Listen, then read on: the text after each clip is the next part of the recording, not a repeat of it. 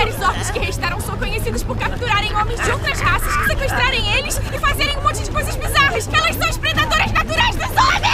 A Darkness nem esconde que queria estar no lugar do Kazuma, ao descobrir que os orcs deixaram de existir, a cavaleira ficou tão chocada que perdeu totalmente o seu rumo. Eu nunca vi em nenhuma outra obra, uma personagem com desejos tão bizarros quanto os desejos da Darkness. Não, peraí! Os orcs deviam ser os predadores naturais das cavaleiras. Eles são conhecidos pelo desejo sexual voraz e atacam mulheres assim que as veem. Esses já eram. Hum?